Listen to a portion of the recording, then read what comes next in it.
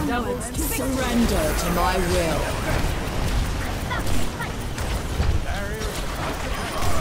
Double find their weakness and claim.